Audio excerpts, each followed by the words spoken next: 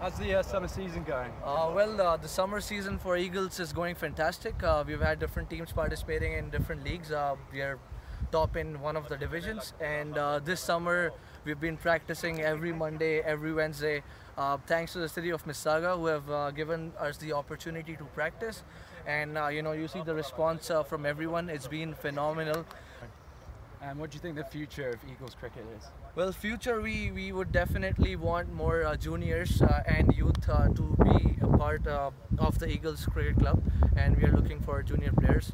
Um, you know, and we all know that City of Mississauga has been, you know, they've been focusing on getting more youth, getting more, um, you know, junior players. So I would request uh, to anyone who's in Mississauga and watching the video, if you want to join Eagles Cricket Club, you're more than welcome. And I thank um, to each and every one of our players who have been regular to practices, you know, and uh, be a part of our club.